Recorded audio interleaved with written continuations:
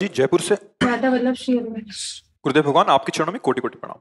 भगवान मेरे मन में चिंता और विश्वास अविश्वास का भाव समय समय पर आता है जिससे मैं दूर करने का प्रयास भी करती हूँ पर ये प्रकट होता रहता है। मैं किस प्रकार अपना विश्वास बढ़ा सकती हूँ? क्या मार्गदर्शन? नाम जब जैसे जैसे पाप नष्ट होगा तो हृदय में प्रकाश होता है ज्ञान का।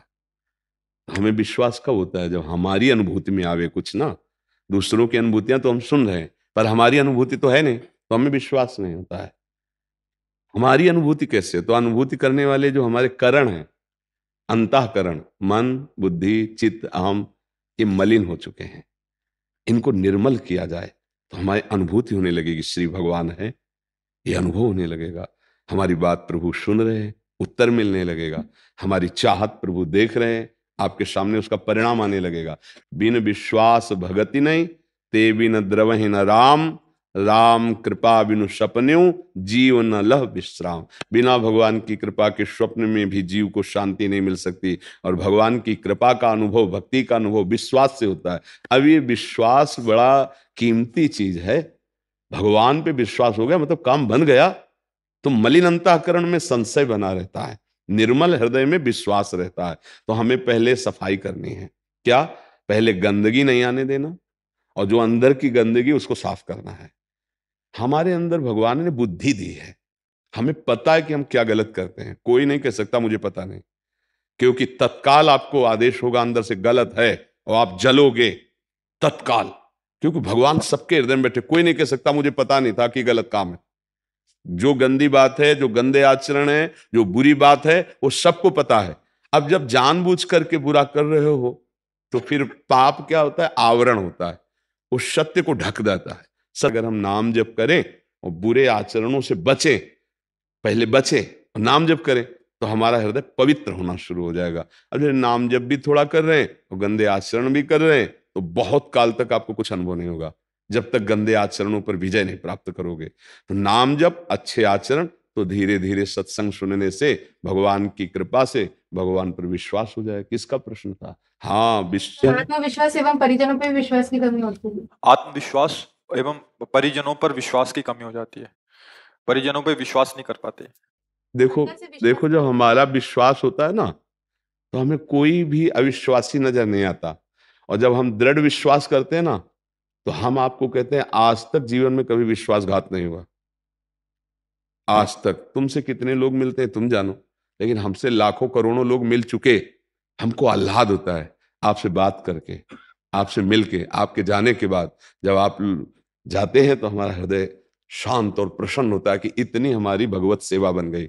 इतने स्वरूपों में आए हुए जनों की सेवा बन गई। हम वाणी के द्वारा, दृष्टि के द्वारा इनको सबको सुख पहुँचाया। देखो, हमारी विश्वास की कमी है, इसलिए ये दोष उत्पन्न होता है। हमारा दृढ़ विश्वास हो, बस हमें अपने को सुधार तो सब ठीक हो जाएगा। परिवार में, समाज में, राष्ट्र में। जब हम सत्य रहेंगे, धर्म से रहेंगे तो जो धोखेबाज कपटी है ना, वो भी आके सत्य और धर्म कम से कम हमारे सामने तो। इतना समझो, हमारे साथ, हमारे सामने कम से कम सत्य और धर्म से बैठेगा। इसके बाद जब फिर हवा लगेगी तो बात अलग है। और अगर रंग चढ़ गया तो आजीवन के लिए सत्य और धर्म से चल पड़ेगा। ये बात समझो। हमको अपनी कमी को दूरी करना है, हमको अपना हृदय मज़बूत करना है। तो हम नाम जप करें, परिवार के सदस्यों के हृदय में भी श्री भगवान बैठे हैं। उनकी विपरीतता नहीं है, प्रतिकूलताएँ आती हैं, विपरीतताएँ आती हैं, पर हम भगवत मार्ग के पथिक हैं। इन्हीं पर विजय प्राप्त करने के लिए तो हमारी महिमा है। अरे, अनुकूलता में, जय जय में, नमस्कार में, प्रणाम में तो सब महान है। महान तो तब है जब गाली हो, प्रतिकूलता हो और हम निकल जाए वहाँ से। हमारे अंदर कोई प्रभाव ना पड़े, तब तो बात समझ में आती है। तो पहले आप अपने को मज़बूत कीजिए, आपका कर्तव्य है जो जो, उस पर ध्यान दीजिए। सास ससुर से आपको व्यवहार कैसा करना है? पति से कैसा व्यवहार करना है, परिवार के जो निज सदस्य जन है, उनके साथ कैसा बर्ताव करना ये आपका, वो आपके साथ कैसा करते हैं प्रभु देखेंगे। आप अपने वर्ताव से हो तो दुखी नहीं होगी। जब हम अपना वर्ताव अच्छा करके और उससे चाहते हैं वर्ताव कि हमारे साथ अच्छा व्यवहार हो, क्योंकि मैं अच्छा करती हूँ, तब हम दुखी हो जाते हैं। ये गलत हो गया। हम अपने कर्तव्य का, धर्म का पालन करेंगे। यदि आप हमें दुख देते हैं तो हम सहेंगे, इसका परिणाम जिसका हम पालन कर रहे हैं, वो तुम्हें देगा। हम रोष पावक सो जरे। तो हमको चिंता क्या कर दी? इसलिए सावधान।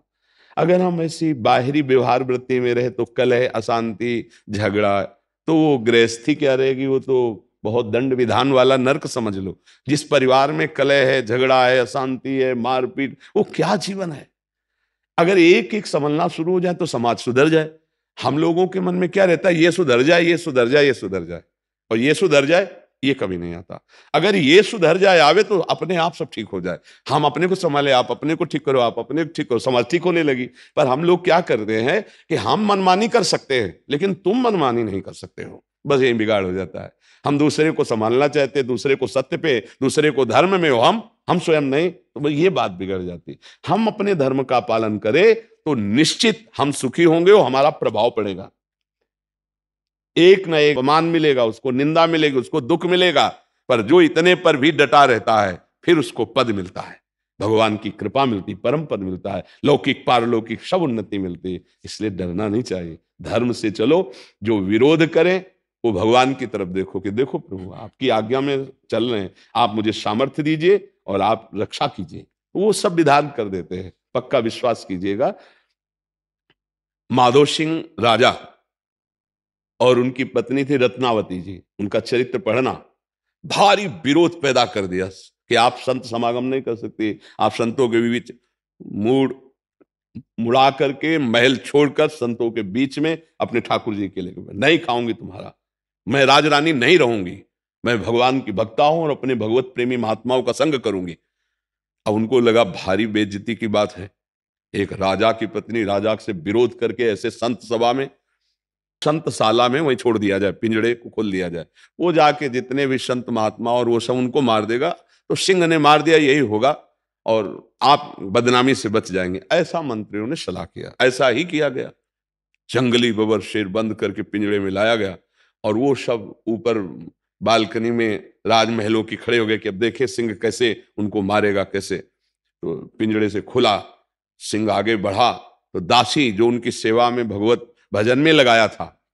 उसने कहा, महारानी सिंह। तो आरती करने जा रही थी। पीछे मुनि और कहा, सिंह नहीं, नरसिंह, मेरे भगवान आए। और ऐसे आ तो जैसे गाय होती ना, सीधा स्वरूप सिंह तिलक लगाया, आरती की, प्रणाम किया। सबके होश उड़ गए। जंगली सिंह लाए। और मारी छलांग जो बालकनियों में लाए थे ना, पकड़ करके, और मनोरंजन के लिए खड़े थे, अब कैसे मारेगा, कैसे? आपको फाड़ के फेंका और जंगल में भाग गया। भगवान भगवान, सर्वत्र भगवान है, आज क्षमा कर। ये, अगर हम धर्म से चलते हैं तो धर्म कसौटी भी पेश करता है, संसार विरोध करता है। हम उसको सहें, नाम जप करते हुए भगवान से प्रार्थना करें।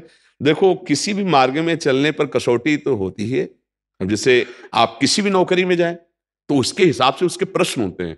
उनको पास कर लो आप, उस पद में पहुँच जाओ। भाई, अगर टीचर बनना है तो इतना पढ़ा लिखा होना चाहिए, इतना ऐसे ऐसे उसकी ट्रेनिंग होती तो ये परम पद है।